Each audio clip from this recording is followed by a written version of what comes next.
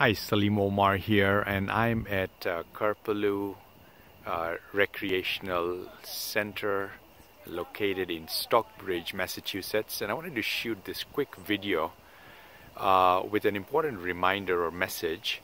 Uh, I've come two days here by myself uh, to spend time away from my office, away from my home for for relaxation and for growth, personal growth self-reflection and it's been two days uh, of spending time in a very serene setting. You can see it behind me.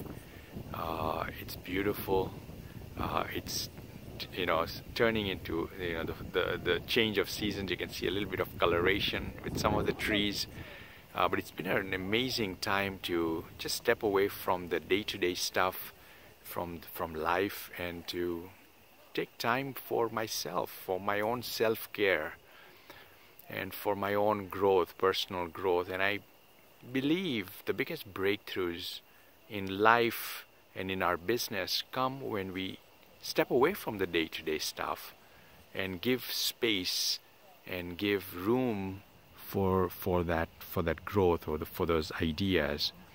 Um, and so the reason I shoot this video is to bring you this important message for you to do more of that if you're already doing it or if you haven't to take time out for your own care for your own self-care. Uh, one of the things I've noticed being in business for so many years and in, in, in life observing life is that my biggest ROI my biggest return on investment comes when I invest in myself. And this has been an you know an investment in myself these two days, not only from a money standpoint, but from a time standpoint as well. And I feel that's necessary and needed, and uh, and it brings about uh, big a big return in that.